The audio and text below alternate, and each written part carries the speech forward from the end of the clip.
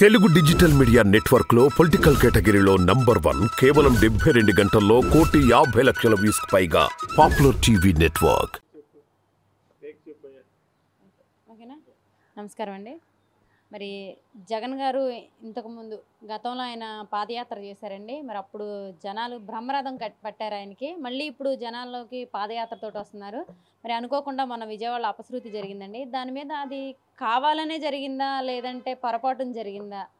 అనేది నిజమా? ఎంతవరకు నిజం ఉంది? అందులో ఆయనకి ఆయనే గతంలో కోడి కత్తెని చేయించుకున్నారు. ఇప్పుడేమో ఆయనే చేయించుకున్నారు. ఇది కూడా అని అంటున్నారు. అది ఎంతవరకు నిజం అంటారు? పాపులర్ టీవీ ప్రేక్షకులకి బులితెర నాగభూషణ నమస్సుమాంజలి. ఎవరో కావాలని కన్ను ముక్కు పోగొట్టుకోరమ్మా. అది ప్రీ ప్లాన్డ్ ఒక రకంగా రెక్కీ చేసినట్టు చేశారు. ఎందుకంటే ఆ బిల్డింగ్లు పైనుంచి చేస్తే వెళ్తుందా లేదా అని. అది కూడా ఎలాంటిదంటే నాకు తెలిసినంత నాలెడ్జ్ ప్రకారం అది నాటు పెట్లు కొట్టే తుపాకి ఉంటుంది. ఆ దాంతో ఎయిర్ గన్తో షూట్ చేశారు. ఆ పిల్లెట్ కాబట్టి అట్లా పడింది. పిల్లెట్లు ఎలా పడతాయి? కాబట్టి మీకు నా దగ్గర ఎయిర్ గన్ చూపిస్తాను పిల్లెట్స్ వల్ల అట్ట పడింది అదేంటంటే ఆయన ఎలా ఎలా తిరుగుతూ ఉండటం వల్ల ఇట్లా తగిలి ఇట్లా వెళ్ళి పక్కన ఉండడానికి గుడ్డు తగిలింది. ఇక్కడ తగిలింది వేలంపల్లి శ్రీనివాస్కి. అంతే తప్ప అది ఎవరో కావాలని చేశారు. అదే రోజు మధ్యాహ్నం చంద్రబాబు నాయుడు గారు రాళ్ళతో కొట్టండి తరిమి కొట్టండి అది ఇది అని చెప్పేసి పబ్లిక్ని రెచ్చగొట్టాడు ఎవరో ఉంటారు కడుపుమండిలో పార్టీ పిచ్చి. ఇప్పుడు నా నాకు ఒక పార్టీ అయితే నీకో ఒక పార్టీ వేణుకో పార్టీ ఉంటుంది.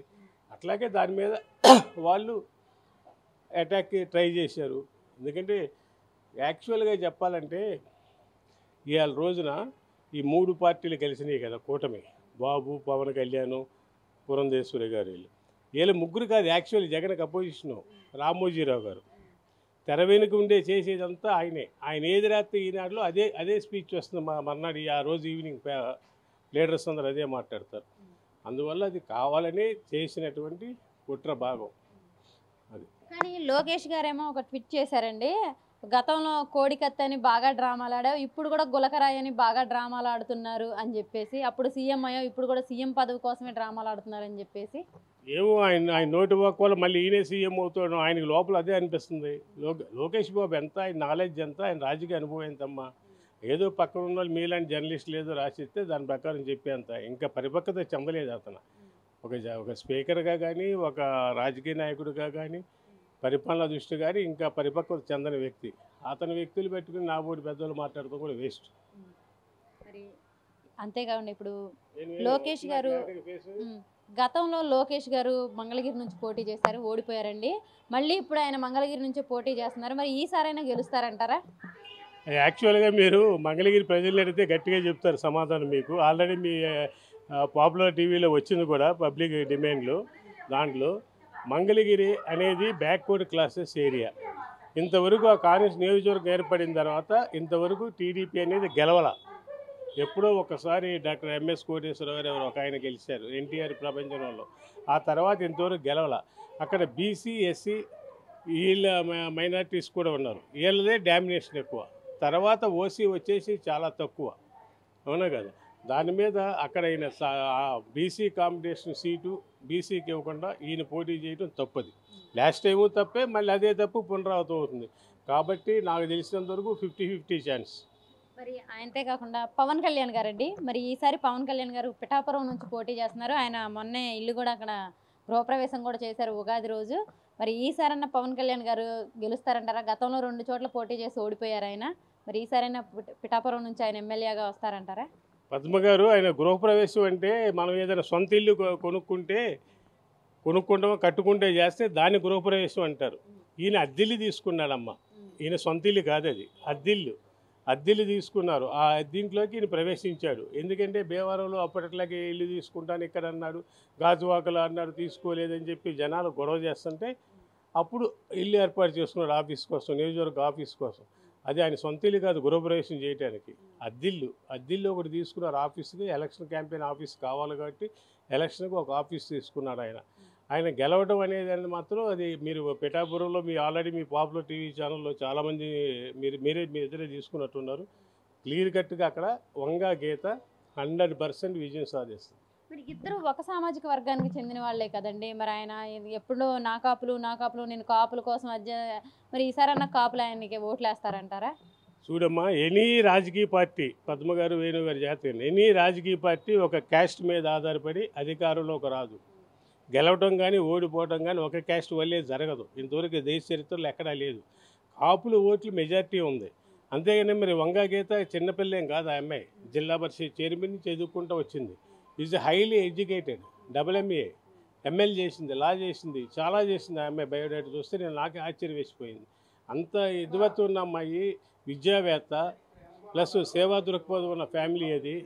అలాంటి ఫ్యామిలీకి ఇప్పుడు అదే కాపు కమ్యూ అదే అదే కాపు కమ్యూనిటీలో.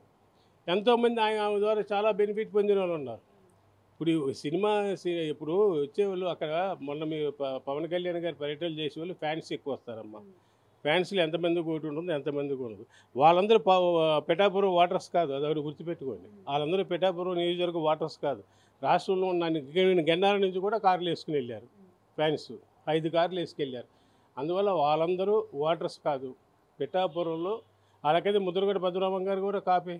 మరి ఆయన ఏ అంటున్నారు కదా?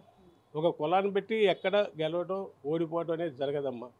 అది ప్రజలందరూ అనుకుంటేనే గెలుస్తారు. పవన్ కళ్యాణ్ గారు ఓటమి తథ్యం తథ్యం తథ్యం. మరి వీళ్ళందరినీ పక్కన పెడితే మరి ఆయన సొంత చెల్లి షర్మిల గారు కూడా ఈసారి ఆవిడ కడపలోనే పోటీ చేస్తున్నారు. ఈసారి అంటే ఇప్పుడు నన్ను గెలిపించండి అని చెప్పేసి మీ రాజశేఖర్ బిడ్డ కొంగు చాచి మరీ అడుగుతుంది ఓట్లు వేయండి అని చెప్పేసి అడుగుతున్నారు. మరి దాన్ని ఎలా చూస్తారండి కడప ప్రజలు? షర్మిలమ్మ గారు రాజశేఖర రెడ్డి బిడ్డ కాదని ఎవరు అంటలా. ఆమె పదే పదే రాజశేఖర రెడ్డి బిడ్డ రాజశేఖర రెడ్డి బిడ్డ అని ఎందుకు చెప్పుకుంటుందో నాకు ఇప్పటికి అర్థం కాదు. తెలంగాణలో చెప్పుకుంది మళ్ళీ ఆంధ్రాకి వచ్చి చెప్పుకుంది. తెలంగాణలో పార్టీ పెట్టింది. ఎంతమంది ఎలాంటి యువకులు వేణు లాంటి యువకులు ఎంతమంది ఆ, యంగ్ టర్క్ వచ్చిందని చెప్పేసి బ్రహ్మరథం పెట్టారు పాదయాత్ర చేసింది. తర్వాత హఠాత్తుగా నూట డెబ్బై ఐదు సీట్లు పోటీ చేస్తామని చెప్పి తెలంగాణలో అనౌన్స్ చేసింటే చాలామంది నియోజకవర్గాల వారి తయారైతే నాయకులు ఖర్చు పెట్టుకుని అన్ని తిరిగి చేస్తే సంవత్సరంన్నర. హఠాత్తుగా వాళ్ళు ఎవరికి చెప్పకుండా హఠాత్తుగా ఢిల్లీ ఫ్లైట్ వెళ్ళి సోనియా గాంధీ జిందాబాద్ అంది. ఇంకా స్టాండర్డ్ ఎక్కడుంది? కానీ ఆవిడ అలా అనట్లేదు కదా. అంటే నేను మాట్లాడాను సోనియా గాంధీ గారితో కలిసి కూర్చొని అంటే వాళ్ళ తప్పేమీ లేదు అవన్నీ తెలుసుకున్న తర్వాతే నేను పార్టీలోకి వెళ్ళానని కూడా చెప్పారు కదండి. సరే మా కాంగ్రెస్ పార్టీలో రావటం తప్పు లేదు నేను కాదంట్లా. ఏ పార్టీ అయినా అంతవరకు మోసిన నాయకులతో కార్యకర్తలు అందరితో సమావేశం పెట్టి వాళ్ళ ద్వారా చేరాలి. సరే ఆ విషయం పక్కన పెట్టండి. ఇప్పుడు మీరు అడిగితే కడప లోక్సభ పోటీ చేస్తానుంది. మంచిదే చేసుకోమనండి. చేసుకోమంటే ఎంతసేపు అవతలోడు అది గోండాను ఒక కోర్టులో ఉన్నటువంటి కేసులు కోర్టులో ఉన్న కేసు మీద మాట్లాడకూడదు. అవతలో ఉన్నాడు అవతలోడు గోండాను వాడు కావాలా మీకు నేను కావాలంటే అసలు వాట్ ఈజ్ నువ్వు ఒక జాతీయ పార్టీ తరఫున పోటీ చేస్తున్నావు. What is your manifesto? నీ మేనిఫెస్టో ఇది. నా నేను ఇది చేస్తాను. కాంగ్రెస్ పార్టీ కాంగ్రెస్ పార్టీ మా నాన్నగారిని ముఖ్యమంత్రిని చేసింది. మా బాబాయ్ని ఎంపీ చేసింది కాంగ్రెస్ పార్టీలోనే. కాంగ్రెస్ పార్టీ మన నియోజకవర్గానికి ఎంతో సేవలు చేసింది ఎంతో డెవలప్మెంట్ చేసింది. నువ్వు ఆ పార్టీ గొప్పతనం చెప్పుకోవాలి. చెప్పుకున్న ఊరెళ్ళా అవినాష్ రెడ్డి గోండా అది ఇది మర్డర్ చేశాడు అది ఇది అని చెప్పేసి అంటే అది కోర్టులో ఉంది. మరి ఎన్ని సంవత్సరాలు చేయవయ్యావు ఎన్ని సంవత్సరాలు చేయవు ఆమె తోడు సునీతను సునీతని తీసుకెళ్ళింది. తోడు ఆ వంటంది అప్పుడు సునీత గారిని మీ పాపులారిటీ మీద సూటిగా అడుగుతున్నా. డాక్టర్ వివేకానంద రెడ్డి గారు చనిపోవడానికి మూడు సంవత్సరాల ముందు వీళ్ళు వీళ్ళు వాళ్ళ అమ్మని తీసుకుని ఎందుకు వెళ్ళిపోయింది? ఒక్కడిని ఒంటరి వాడిని చేసేసింది. ఎందుకు చేసింది? దానికి సమానం చెప్పదే. ఆయనకు ఆల్రెడీ ఇంకో భార్య ఉంది ముస్లిం స్త్రీ. ఒక కొడుకు ఉన్నాడు. ఆస్తి ఎక్కడ పోతుందని చెప్పి ఇంట్లో గొడవలు నడుస్తున్నాయి అక్కడ. ఒంటరిగా ఉన్నాడు. ఆమె చెక్ పవర్ క్యాన్సిల్ చేశారు. చంద్రబాబు కనుక ఎన్టీఆర్ని ఎలా చేశాడో అలా చేసింది ఇది సునీతను వాళ్ళ హస్బెండ్ కలిసి. అది ఎవరి నిర్ణయం చెప్తారు? ఆ కాన్స్టిట్యున్సీలు నేను కాదు. ఆ కాన్స్టిట్యున్సీలు ఎవరి నిర్ణయం చెప్తారు? నా ఫ్రెండ్స్ జర్నలిస్టులు చాలామంది ఉన్నారు. వాళ్ళే చెప్తున్నారు. బాబు కిల్లీ షాప్ కాడగా టిఫిన్ సెంటర్కి వెళ్ళి పొద్దున వెళ్ళి బండి బండి కాడికి వెళ్ళి టిఫిన్ చేసుకుని తింటాడు లేకపోతే వంటోడు వచ్చే వరకు వెయిట్ చేయాలి. అంత హింస పెట్టారు. చచ్చిపోవడానికి మూడు మూడు సంవత్సరాల ముందు వదిలేశారు ఆయన్ని. తల్లి కూతురు హైదరాబాద్లో ఉన్నారు. మరి ఈసారైనా మరి ఈసారి చంద్రబాబు నాయుడు గారు చాలా గట్టిగా జగన్ గారిని పులివెందల్లో ఓడిస్తానంటున్నారండి. దానికి ఏమంటారు ఇవాళ ఏప్రిల్ ఫస్ట్ ఏం కాదు కదా? మీరు ఈ ప్రశ్న వేశారు? ఏమే నువ్వు ఏప్రిల్ ఫస్టా? కాదు. కదా మరి ఎందుకు అలాంటి ప్రశ్నలు వేస్తారు? అది ఎక్కడైనా ఎవరైనా వినదగిందా మనం? ఏమ్మా పద్మ గారు? పులివెందల కాదు కుప్పంలో గెలవము మనం మా బాబుని చాలు. లోకేష్ని మంగళగిరిలో గెలిపించుకోమను కుప్పంలో చంద్రబాబుని గెలిపించుకోమను చాలు. ఆయనే చెప్పాడు ఇదే నేను ఆఖరిసారి మళ్ళీ నేను సీఎం అయితే కానీ అసెంబ్లీకి రానని. ఇక అసెంబ్లీకి అటెండ్ రానని ఆయనే చెప్పుకున్నాడు. గెలుస్తారు. కుప్పంలో చంద్రబాబు గెలుస్తారు దాంట్లో డౌట్ లేదు. పథకాలు కూడా చాలా ఎక్కువ ఇస్తానని చెప్తున్నారండి. వాలంటీర్లకు కూడా రీసెంట్గా మన ఉగాది రోజు చెప్పారు. పదివేలు ఇస్తానంటున్నారు ఎంతమంది పిల్లలు ఉంటే అంతమంది పిల్లలకి అమ్మ అంటే అదే తల్లి, అమ్మకు వందనం. పేరు మార్చి ఇస్తామని చెప్తున్నారు. ఇంకొకటి మగాళ్ళకైతే అసలు మద్యం ధరలు పెంచి నాణ్యతమైన మద్యం ఇస్తానంటున్నారు. మరి ఇన్ని పెడుతుంటే మరి గెలవరండి. నేను చెప్పేది అమ్మా మద్యం తాగొద్దని చెప్తూ పెద్ద మనిషి ఎవరైనా సరే తాగొద్దురా బాబు ఆరోగ్యం దెబ్బతింటుంది మద్యం తాగొద్దంట. అంతేగాని నేను మద్యాన్ని మద్య నిషేధం తీసుకొస్తాను మద్యం రద్దు చేస్తానని చెప్పాలి మగవాడైతే. అది చెప్పకుండా నీకు మద్యం క్వాలిటీ మద్యం ఇస్తాను నీకు బాటిల్ ఇంకా గట్టి బాటిల్లో పోసి ఇస్తాను. అంటే తాగమనే కదా ఆయన చెప్పినా? అదేం పెద్ద మనిషి నేను అర్థం కాదు. అదేం పెద్ద మనిషి అండి? నువ్వు కావాలంటే నీలో దమ్ముడు ధైర్యం గడిచున్నట్టయితే ఉన్నట్టయితే ఎస్ మద్యపాన నిషేధం పెడతా నేను అని చెప్పి చెప్పమను. అది చెప్పలేడు ఆ ధైర్యం లేదు. మీరు అంతకుముందు ఆలోచించండి ఈ పథకాలన్నీ కూడా ఖజానా ఖాళీ అయిపోతుంది వితంతులకు ఇస్తున్నారు వాళ్ళకి ఇస్తున్నారు వీళ్ళకి ఇస్తున్నారు అసలు డబ్బులన్నీ ఖాళీ చేసేస్తున్నారు చిలపింగులో ఖర్చు పెట్టేస్తున్నాడు శ్రీలంక లాగా అయిపోతుంది సౌత్ ఆఫ్రికా లాగా ఆకలి సావులు వస్తాయన్న పెద్ద మనిషి ఇవాళ రోజున మళ్ళీ అయ్యే పథకాలు ఏమి ఇస్తారంటున్నాడు. మీరు అన్నారు అమ్మఒడి. అమ్మఒడి ఒక్కరికే కదా వేణు మన ఇప్పుడు జగన్ గవర్నమెంట్లో. మరి ఎంతమంది పిల్లలు ఉంటే అంతమందికి ఇస్తాంటారు. నా పోటోడు ముగ్గురు కంట నీ పోటోలు ఇద్దరు కంటారు అంటే ఏంటి ఒక ఇంట్లో ఉంటే ఐదు ఐదుగురు ఇద్దరు అది ఇవ్వాలి కదా. అయ్యా ఏంటి ఇస్తారనేది? అమ్మ ఆయన పిల్లల్ని కూడా ఎక్కువ కనండి. ఇప్పుడు ఒక్కరిని ఇద్దరినే కంటున్నారు. ఇంకా మేము అమ్మ కూడా ఇస్తాం. ఇంకా ఎంతమందినైనా కనండి అని కూడా చెప్తున్నారు. ఆడేదో ఆడు గెలిచేసినట్టు ఆడు అమ్మఒడి వచ్చేస్తుందని చెప్పేసి ఇప్పుడు పిల్లలకి అంటారమ్మ ఎవరన్నా? కొని తెచ్చుకుంటారు కష్టాలు. అయినా బాబు మాటలను నమ్మే పరిస్థితులు ఆంధ్ర తెలంగాణ రాయలసీమలో మూడు ప్రాంతాల్లో తెలుగు ప్రజలు ఎవరూ సిద్ధంగా లేరు. గతంలో ఎలాంటి హామీలు ఎన్నో ఇచ్చాడు. మీరు గుర్తించుకోండి అప్పుడు మీరు ఫీల్ ఛానల్స్ ఎన్ని లేవు సోషల్ మీడియా. గతంలో ఎన్నో ఇచ్చాడు మేనిఫెస్టో నా దగ్గర చూపిస్తాను మీకు. మీకు ఆల్రెడీ జగన్ గారు ప్రతి మీటింగ్లో చూపిస్తున్నాడు. దాంట్లో ఎన్ని చేశాడమ్మా? రుణమాఫీ అన్నాడు. చేశాడా? చేయలేదు కదా? మరి ఇంకా చాలా చేయలేదు. అది పెద్ద అతనికి కావాల్సింది ఒకటేనమ్మా ఆయన పైన ఉండే రాజగురు ఒకటే అంటున్నాడు. మీరు ఎన్ని వాగ్దానాలు ఇస్తారు ఇచ్చిపారదగంటారా ఏం చేస్తారో చేసేయండి. ఎందుకు వేలు పెట్టుకుంటారు ఓట్లు కొనని? వాడు మళ్ళీ రాకూడదు. వస్తే నేను దుకాణం బంద్ చేసుకోవాలి. కాబట్టి ఖబర్దార్ మీరు చెప్పినట్టు చేయండి అని చెప్పారని పెద్ద ఆయన ఒక ఆయన ఫిలిం సిటీలో. ఆయన చెప్పినట్టు నడుపుతాడు. అంతే తప్ప ఈయనకి అంత దమ్ము గట్స్ లేవు బాబు. ఎందుకంటే ఆయన ఫస్ట్ టైం మినిస్టర్ అయిన కానీ నాకు తెలుసు. అంజయ్ గారి క్యాబినెట్లో. సరేనండి. మరి ఈసారి జగన్మోహన్ రెడ్డి గారు వన్ సెవెంటీ ఫైవ్కి వన్ సెవెంటీ అంటున్నారు. మరి వన్ సెవెంటీ ఫైవ్కి వన్ సెవెంటీ ఫైవ్ కొడతారంటారా? అంటే యాక్చువల్గా ప్రతిపక్షం అనేది ఉండాలమ్మా. ఏ రాష్ట్రంలో తీసుకునే చేసినా డెమోక్రటిక్ కంట్రీలో ఉన్నాం డెమోక్రటిక్ డెమోక్రటిక్లో మనం అపోజిషన్ అనేది ఉండాలి. కానీ ఇప్పుడు దాకా మొన్నటిదాకా నేను వైఎస్ఆర్సీపీకి నాకు నా సర్కిల్ ద్వారా నేను సర్వే చేసిన నువ్వు అన్న పిఠాపురం కూడా నేను విజిట్ చేసి రావడం జరిగింది. ఇవన్నీ చూసుకున్న తర్వాత ఏంటంటే ఒక వన్ థర్టీ త్రీ దాకా వస్తాయనుకున్నా. మాతో పాటు మా మిత్రుడు గోపి కొండ కొండలు ఇల్లు కూడా వెళ్ళొచ్చారు. తిరిగి వచ్చి మీరు రాంగ్ చెప్పారండి అన్నారు. తర్వాత మొన్న ఇన్సిడెంట్ జరిగిన కాంచి చూస్తే ఇవాళ రోజున జగన్ గ్రాఫ్ బాగా పెరిగిపోయింది. One six seven one sixty seven compulsory వస్తాయి. ఈయనేమో ఒకవైపు చూస్తే ఒక్కళ్ళే ఉన్నారు ఇంకోవైపు చూస్తే చంద్రబాబు నాయుడు గారు నలభై ఏళ్ళ రాజకీయం అనుభవం ఆయనకి పద్నాలుగేళ్ళు సీఎం చేశారు ఇంకోవైపు చూస్తేనేమో సినీ ఫేమ్ ఉంది పవన్ కళ్యాణ్ గారికి బాగా. మరోవైపు బీజేపీ అండి. మరి కూటమితో వస్తున్నారు వాళ్ళు అయినా సరే జగన్ గారు వన్ వన్ సిక్స్టీ అని అంటున్నారు మీరు. వస్తాయి అంటారా? 167. వన్ సిక్స్టీ సెవెన్ వస్తాయి అంటారా? ఎలాగంటే మీరు అన్నారు కదా కూటమి టీడీపీ జనసేన బీజేపీ. అంటే మరిది గారు ఆయన దత్తపుత్రుడు ముగ్గురు కలిసి. ఈ మూడు పార్టీల్లో టికెట్లు సెలెక్ట్ చేసింది ఎవరమ్మా? చంద్రబాబే కదా ఓపెన్ సీక్రెట్ కదా. క్యాండిడేట్లు ఎవరు? ఆయన మొన్న మన జనసేన అని పవన్ కళ్యాణ్ గారు ఒప్పుకున్నారు. తిరుపతిలో జన సైనికులను తిరగబడితే నాకు అసలు ఆర్ఎన్ శ్రీనివాసులు ఎవరో తెలియదు బాబు గారు పంపించారు అతను టికెట్ ఇవ్వమని నేను ఇచ్చేసాను అన్నాడు ఏ పార్టీలు? బీజేపీలో ఉంది ఎవరు? సీఎం రమేష్ ఎవరు? చంద్రబాబు మనిషి కదా. సుజనా చౌదరి ఎవరు? కామినేని శ్రీనివాస్ ఎవరు? వీళ్ళందరూ చంద్రబాబు మనుషులే. ఊరికినే పైకి జెండాలు పెట్టుకుని చేసుకు ఎందుకంటే నన్ను నమ్మరు. నా మొహం చూసి ఓట్లేరు. అయిపోయింది నా శకం. నన్ను చూసి ఓట్లేరు. కాబట్టి మూడు బొమ్మలు పెట్టిన మోడీ బొమ్మ చూసి అయినా ఓట్లు వస్తాయని అనుకుంటున్నారు.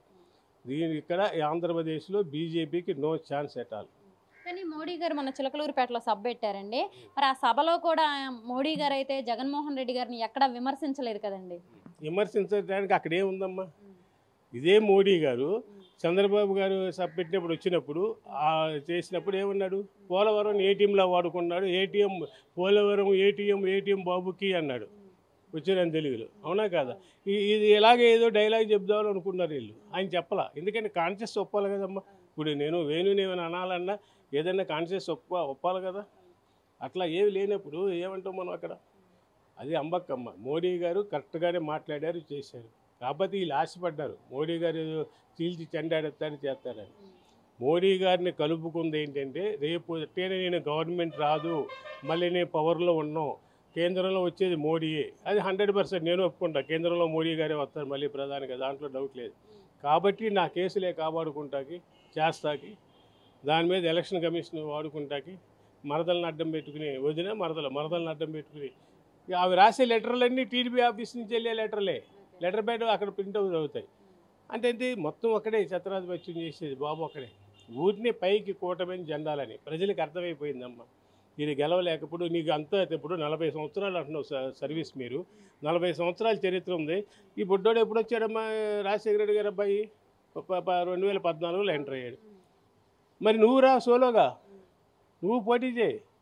అప్పుడు నీ పోటో నా పోటోలు కూడా ధైర్యంగా ముందుకు వస్తారు. నువ్వు ఎందుకు చేయట్లేదు? చేయలేవు.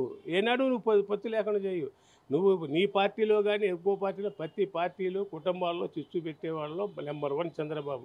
అతను మ్యారేజ్ అయిన కానీ నేను అబ్జర్వ్ చేస్తాను. తెలుసా మీకు?